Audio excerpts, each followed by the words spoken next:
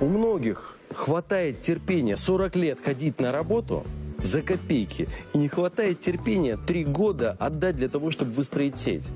Но через эти три года тебе приходит доход, тебе приходит успех, к тебе приходит свободное время и возможность путешествовать. На сегодняшний день сетевики имеют самые высокие доходы в месяц по сравнению с 90% населения. Сетевики, которые могут позволить себе каждый месяц выезжать по городам, они вообще больше ездят. Поскольку с презентациями приходится объезжать разные города, э, они больше осведомлены, они больше общаются. Каждый встречный, прежде всего, не друг, не враг. Каждый встречный – это твой учитель. Каждый встречный, он тебя в чем-то превосходит. У каждого ты можешь чему-то научиться. Сетевики общаются больше всех.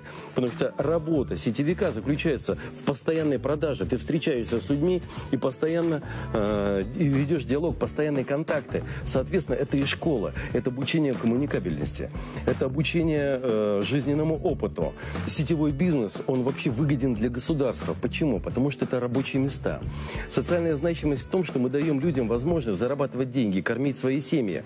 В конце концов, они зарабатывают деньги и тратят эти деньги здесь же, в нашей стране, даже если это иностранная компания, но зарабатывает он в нашей стране. И тратит он эти деньги здесь, и тратит на образование своих детей тоже здесь. Покупает жилье тоже в нашей стране. На самом деле государство не зря обратило внимание сейчас на значимость этого проекта, на значимость вообще этой индустрии, потому что мы охватываем очень большой пласт населения нетрудоспособного, э, пенсионного, тех людей, которые лишились работы, попали под сокращение, молодежи. Но только если подумать, если не MLM сейчас, то что? Ну где сейчас можно нормально заработать с любым дипломом в любом возрасте деньги? Или иди делай карьеру 10 лет, 20 лет, пока ты дойдешь до топ-менеджера, от звонка до звонка, по найму, за копейки, сам себе не принадлежишь. Вообще, как выглядит классический бизнес? Простой классический линейный бизнес. Э, работают одиночки, э, большие риски, друг другу помощи нет, идет конкуренция. Сетевой бизнес – это командная работа. Каждый лидер заинтересован помочь своим дистрибьюторам, своей команде, своей структуре. И когда ты приходишь в MLM-бизнес, ты никогда не остаешься в одиночку. Это бизнес-команда, потому что твой руководитель заработает только тогда, когда заработаешь ты. Соответственно, ты получаешь серьезную поддержку и помощь. Каждый руководитель заинтересован в успехе своей команды, успехе каждого из своих сотрудников. Это уникальный бизнес, в котором, помогая другим, ты поднимаешься сам.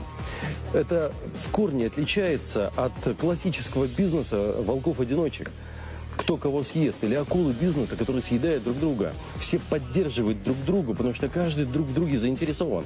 Руководитель заработает только тогда, когда заработает его команда, потому что он получает процент от работы своей команды, а в команде работать гораздо легче. Недаром процент успеха, процент людей, которые приходят в бизнес и становятся успешными, в MLM-индустрии в два раза выше, чем в классическом бизнесе. Из 100 человек, которые занимаются классическим бизнесом, которые приходят в простой линейный бизнес, успеха достигают 10%, а остается на плаву из них после всех катаклизмов один. В MLM-индустрии это достигает 10%. Профессия сетевика, она уникальна.